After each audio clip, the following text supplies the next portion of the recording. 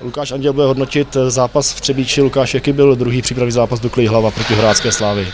Tak já si myslím, že, že jsme dobře nastoupili, měli jsme tam dvě, tři šance a škoda, že jsme nic, nic nevyužili a pak jsme tam udělali dva hloupý fauly, soupeř toho využil, dostal se do hry, skóroval, vedl, tak jsme si museli do přestávce něco říct k tomu.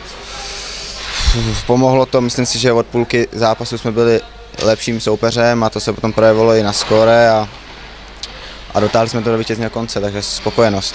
Ale skóre to byla jedna z eh, tajenek, kterou jsme chtěli rozluštit, protože v prvním zápase 0-6 proti Olomouci, teď eh, tři góly, eh, tvůj druhý gól byl vítězný, takže, takže popiš svoji situaci. Tak vlastně tam bylo, tam bylo, náš obránce hrál dlouhý pas na druhou modrou, na Sikyho, ten vlastně tam měl dva obránce, tak, tak jsem viděl, že mu tak jsem musel pomoct, on to tam šikovně protečoval, já jsem sám na brankáře a a viděl jsem, že brankář je hodně povětej, tak jsem, tak jsem si řekl, že by bylo dobrý udělat blafák a vyšlo to, takže jsem za to rád. Bylo znát, že je to sice přípravný zápas, ale přesto derby Vysočiny. Jo, tak určitě, že jo, přišlo hodně lidí, fanoušci tam byli, super atmosféra a, a bylo to i vyhrocený docela, ale zvládli jsme to tak, že jsme za to rádi, že jsme vyhráli to derby. Druhý přípravný zápas Duklý hlava bude hodnotit útočník Matěj Síkela. Matěj, jaký byl zápas proti Horácké slávy Třebíč? Tak bol to ťažký zápas, každý zápas je ťažký teraz príprava, lebo sa aj veľa trénuje. Ešte ráno sme mali predtým trénink, schody, čiže nerodilo sa to ľahko toto víťazstvo.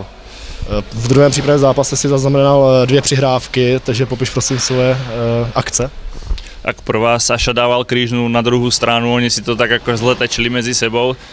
Ja som to len pristočil Andymu a ten išiel sám na bránu a dal gol.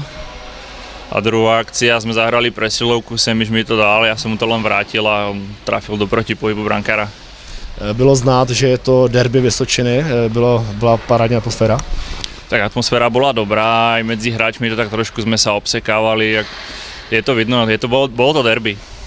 Jak si užíváš té atmosféru v Dukle Jihlava? Přece jenom jsi tady docela krátce, stačilo už si poznat víceméně všechny hráče a jak ti sedí souhra se tvými spoluhráči v lajně?